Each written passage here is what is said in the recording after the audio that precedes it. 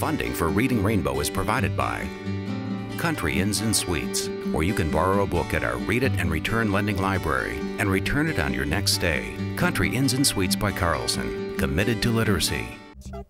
And by a ready to learn television cooperative agreement from the U.S. Department of Education through the Public Broadcasting Service.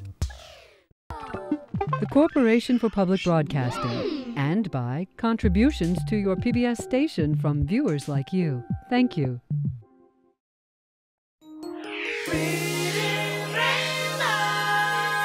Butterfly in the sky. I can go twice as high. Take a look, it's in a book. Reading.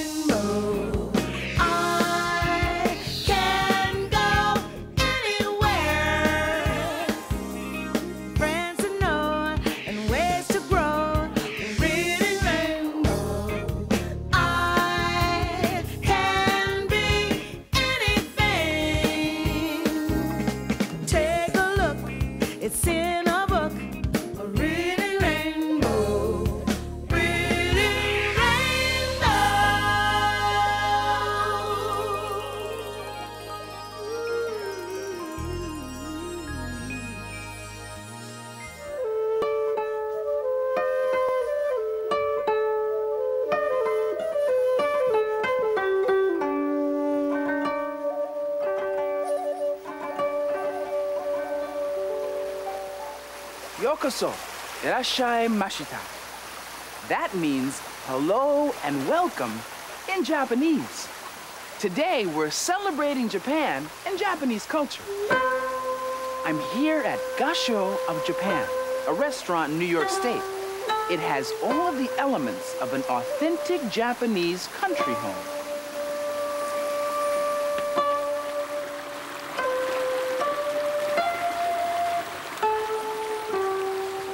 This beautiful, peaceful garden really gives me the feeling of being in Japan. And part of the magic of being here is the music.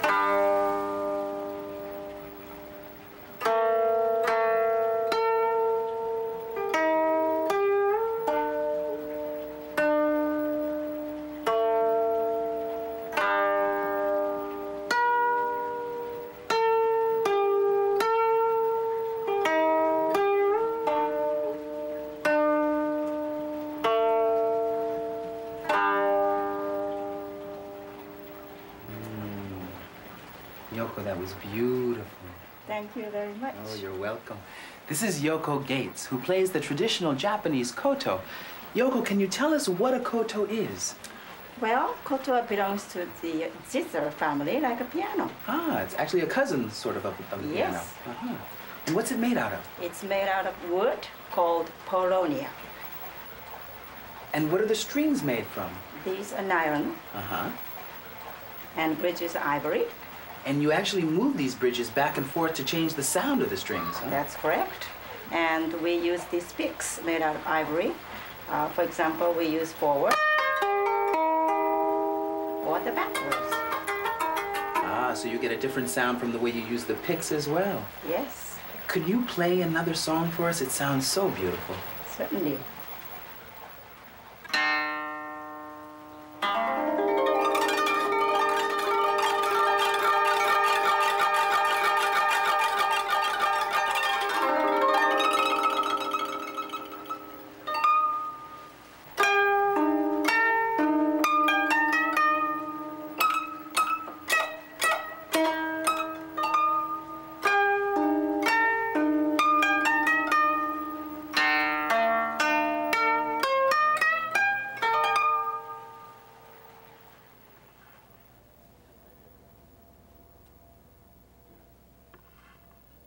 One of the most enjoyable parts of Japanese culture is the food. In Japan, lunch is not only delicious, it's beautiful. Mr. Yabafuchi is an expert Japanese chef who can transform a common garden variety onion into an exquisite chrysanthemum. Right now, He's turning an ordinary white radish into a rare and special bird, a Japanese crane.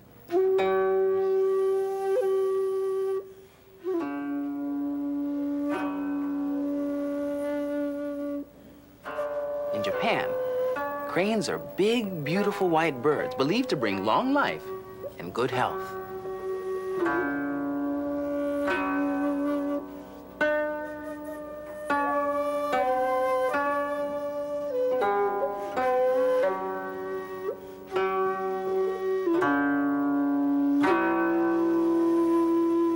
Mr. Yabafuchi carves beautiful gardens filled with flowers and animals.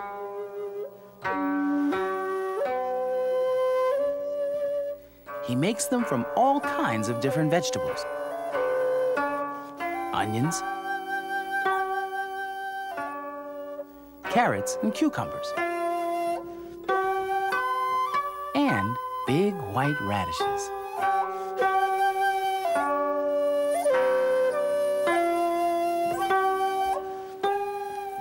Arigato, Yabufuchi-san. I'm sure this crane will bring me much good fortune. A Japanese crane is a very special gift, and there are many stories about the good luck that it brings. Here's one about a crane made from a simple piece of paper that has the power to change people's lives. It's called the paper crane.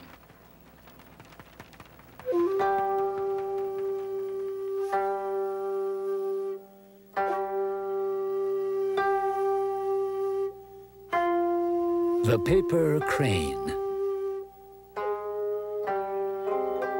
by Molly Bang. Read by Keye Luke.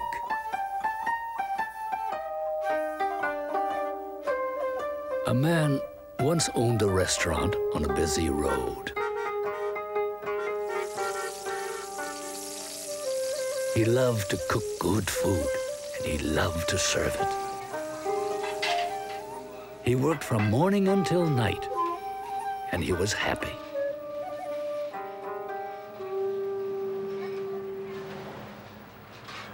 But a new highway was built close by. Travelers drove straight from one place to another and no longer stopped at the restaurant. Many days went by when no guests came at all. The man became very poor and had nothing to do but dust and polish his empty plates and tables. One evening, a stranger came into the restaurant. His clothes were old and worn, but he had an unusual, gentle manner. Though he said he had no money to pay for food, the owner invited him to sit down. He cooked the best meal he could make and served him like a king.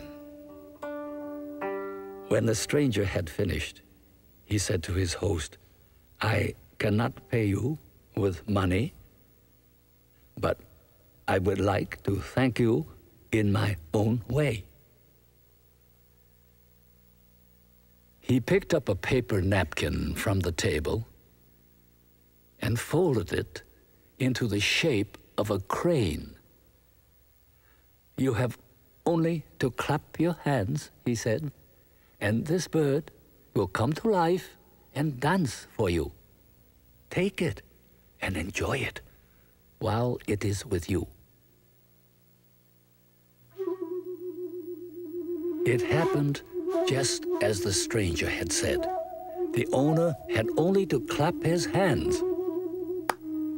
And the paper crane became a living bird, flew down to the floor, and danced.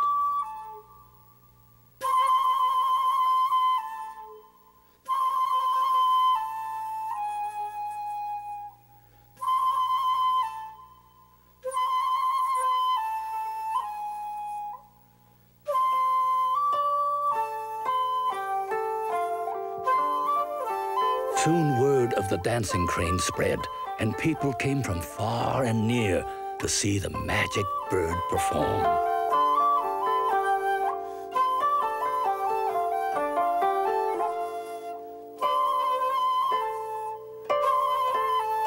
The owner was happy again, for his restaurant was always full of guests. He cooked and served and had company from morning until night. The weeks passed, and the months. One evening, a man came into the restaurant. His clothes were old and worn, but he had an unusual, gentle manner. The owner knew him at once and was overjoyed. The stranger, however, said nothing. He took a flute from his pocket, raised it to his lips, and began to play.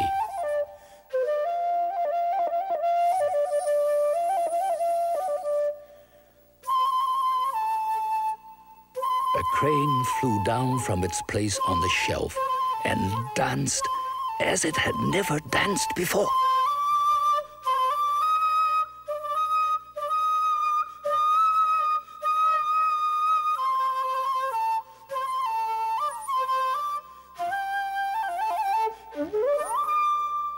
The stranger finished playing, lowered the flute from his lips, and returned it to his pocket. He climbed on the back of the crane, and they flew out of the door and away.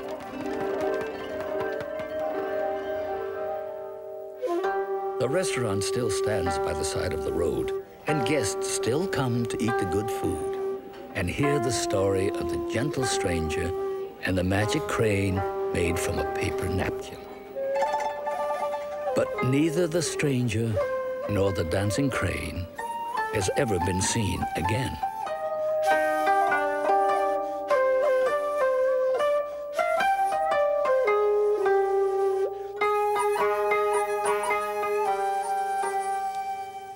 There was a lot of magic in that paper crane.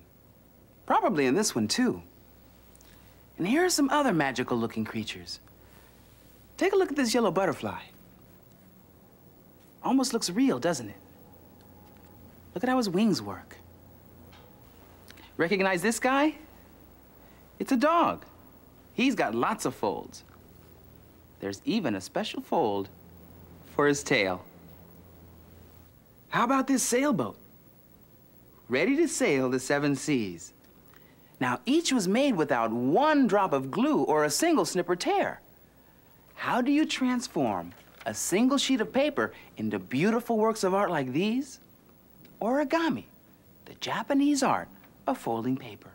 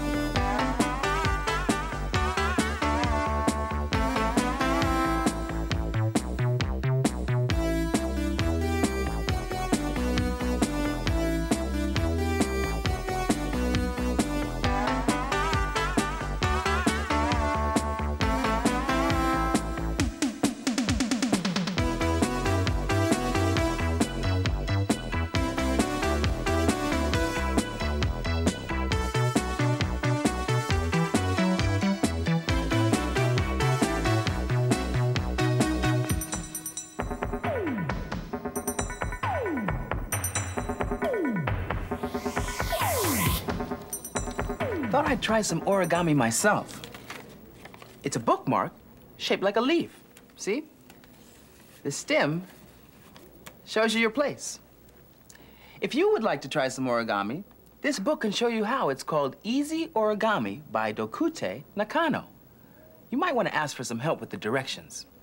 You know, one of the secrets of origami is starting with a beautiful piece of paper. And I know someone whose secret to beautiful paper is an old pair of blue jeans. You think I'm kidding? Watch this.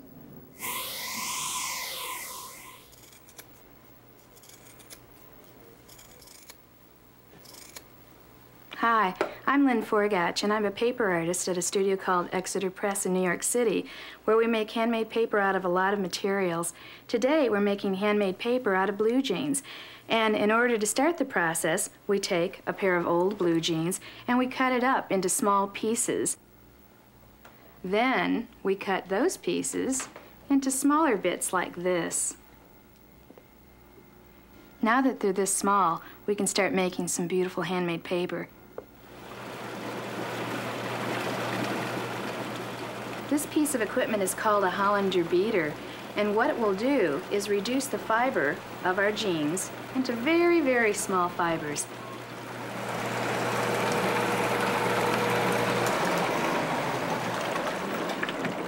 Looks like the beating process might be done. Let's take a look at the pulp. Oh yes, you can see what tiny fibers have been created. Remember the piece of jeans that we started off with? It's now ready for making sheets of paper. Come on and let's make some.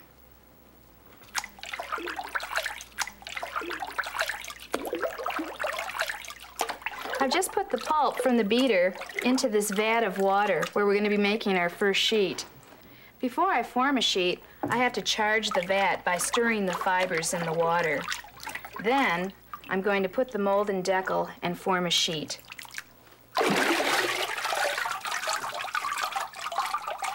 You might notice this shake. Actually, I'm reweaving the fibers, just like the jean was originally.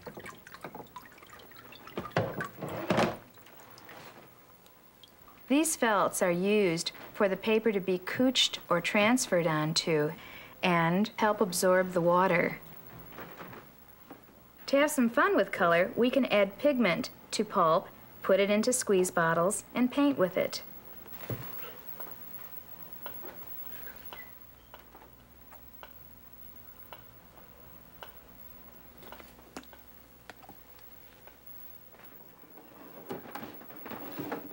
The sheets of handmade paper that we just did I now put in this old screw book press. What I'm going to do is press it as hard as I can. You'll see the water coming out.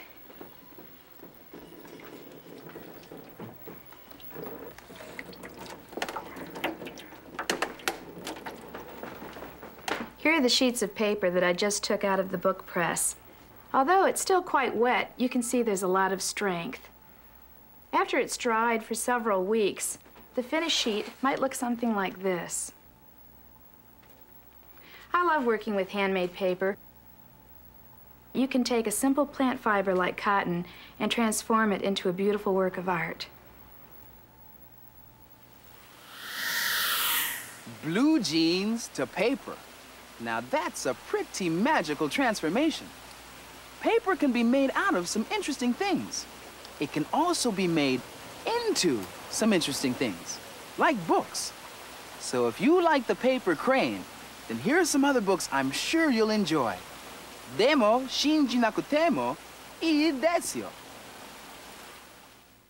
Can you imagine what it would be like if we didn't have paper? How could you write a letter to a friend? Would books be made out of wood or stone? Well, I just read a book that told me how paper was invented.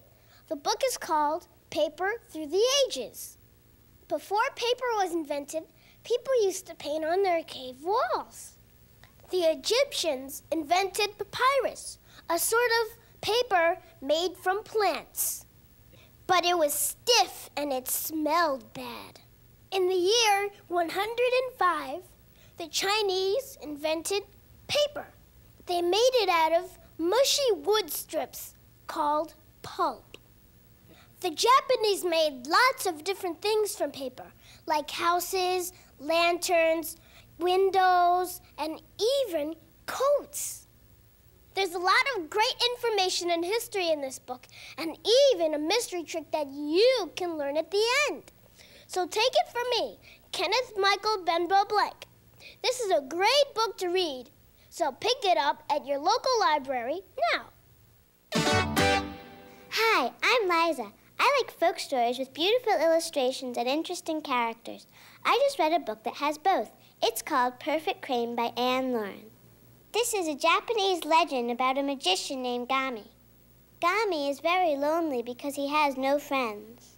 He makes origami animals and flowers to keep him company. One day, he makes a beautiful white paper crane. And then he brings the crane to life. This story has a happy ending about making friends and keeping them.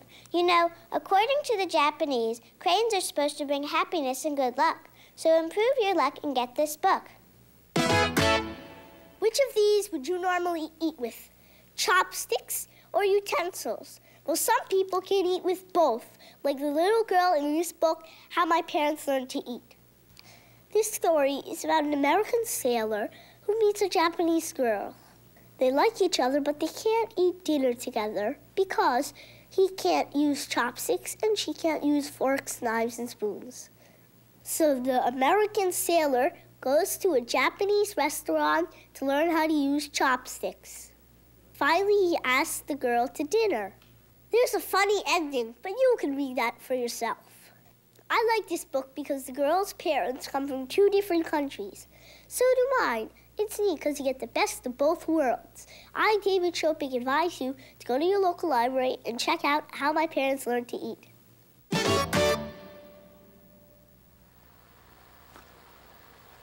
The garden here at Gasho of Japan is about to undergo its own magical transformation. And the magic? Music. This is Soh Daiko, the Japanese festival drummers.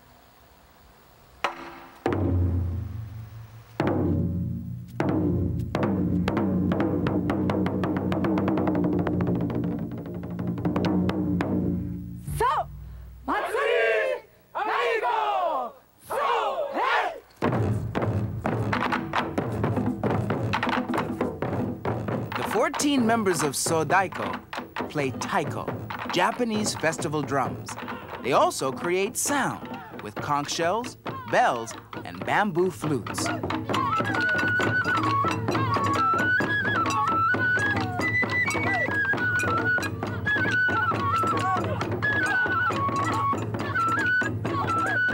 When Soh Daiko plays, its members whoop and whirl, blending movement and rhythm to create music that is exciting to listen to and to watch.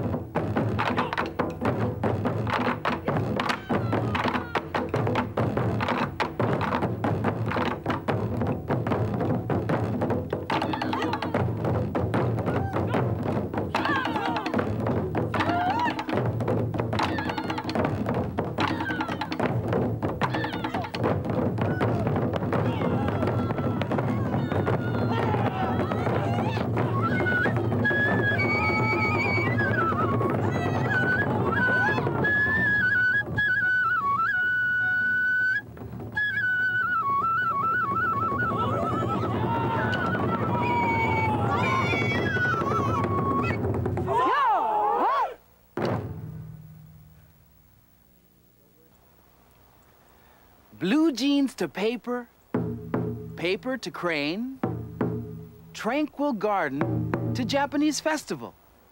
Magical transformations. Keep life full of surprises. ではまたこの次にお会いしましょう。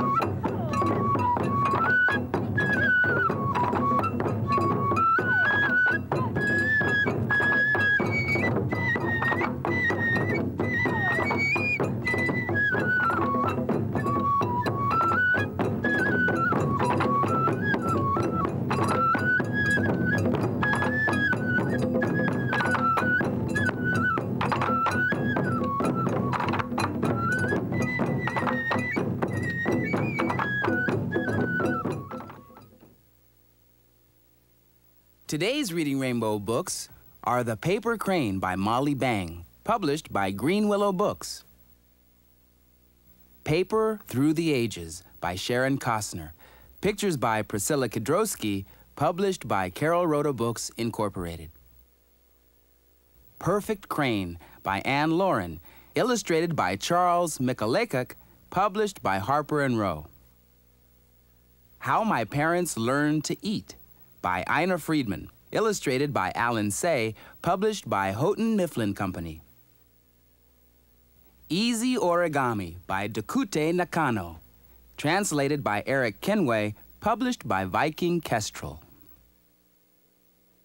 Hi, I'm LeVar Burton. In uncertain times, there's no more effective way to make your kids feel good and safe than to spend time with them. We at Reading Rainbow suggest sharing a book with your family. Read for fun, read for family. Read for our future. Funding for Reading Rainbow is provided by Country Inns and Suites by Carlson, offering a family friendly atmosphere, and the Read It and Return Lending Library, where you can borrow a book and return it on your next stay. And by a ready to learn television cooperative agreement from the U.S. Department of Education through the Public Broadcasting Service. The Corporation for Public Broadcasting, and by contributions to your PBS station from viewers like you. Thank you.